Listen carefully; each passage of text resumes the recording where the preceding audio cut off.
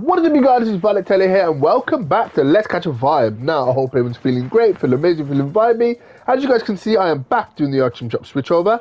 15 seconds left on the clock. We had some really, really cool items return last night. We had some summer favorites, as you guys can see here.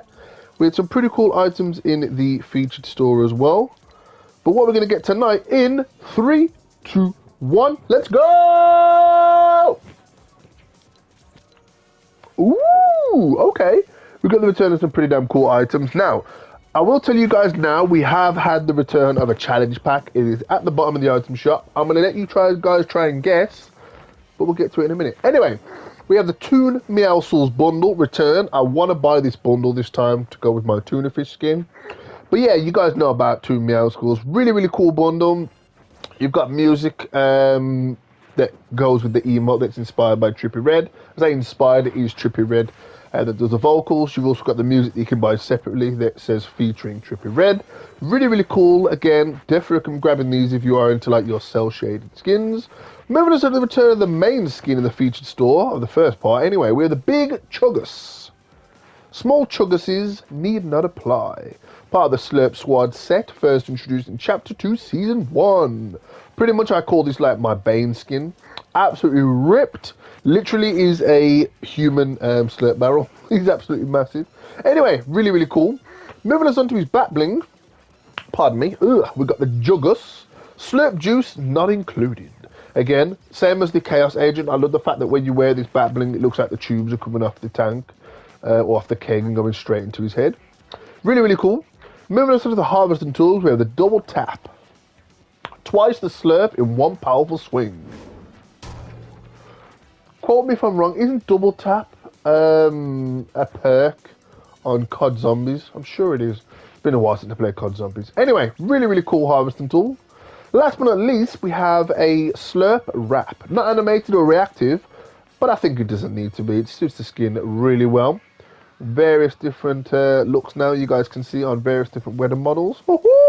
Weapon models. Really, really cool.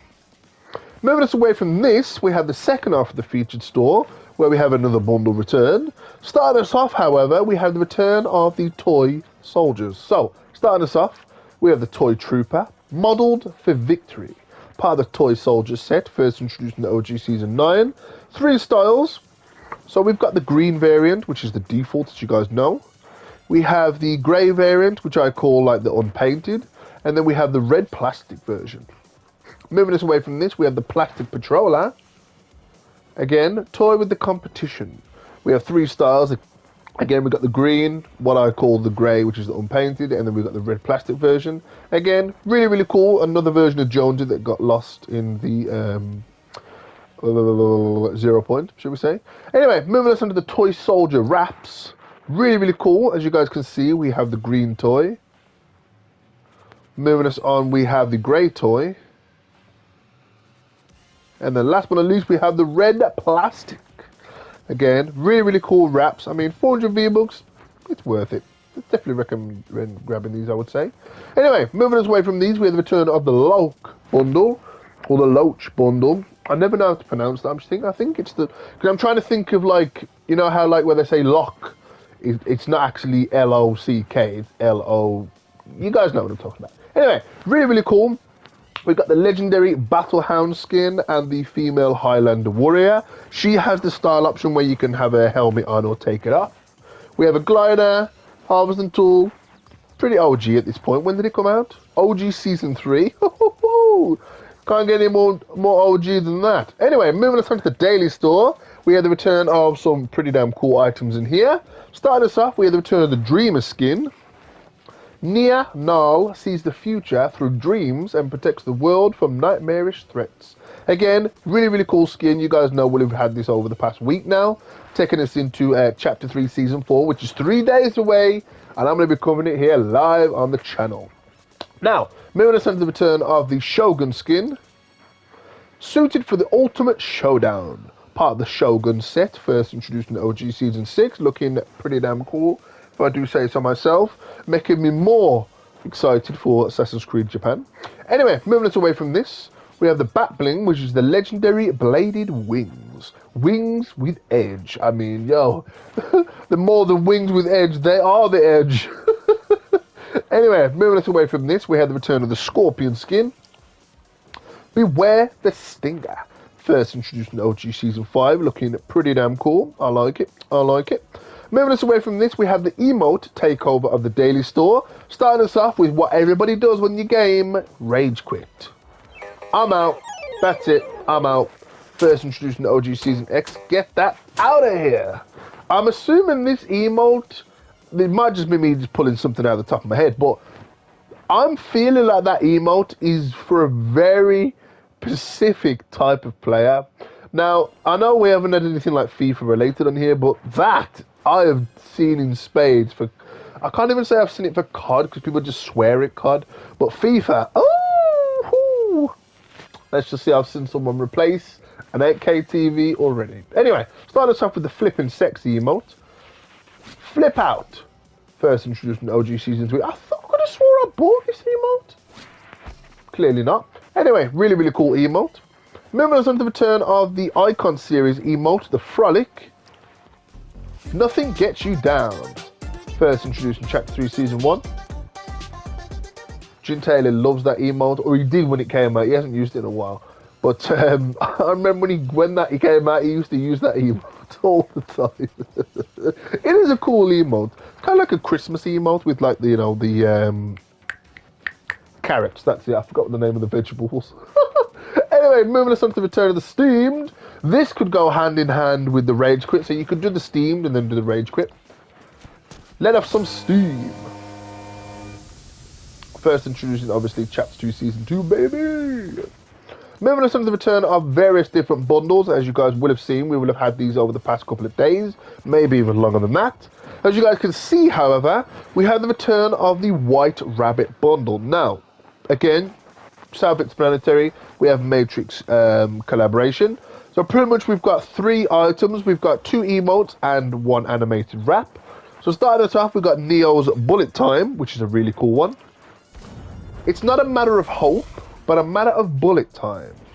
Part of the Follow the White Rabbit set, first introduced in OG season, chapter 3, season 1. I want to say OG, it's not OG, but we're going to leave it like that. Anyway, love the fact that it gives you glasses as well, or shades in this point, like Morpheus shades.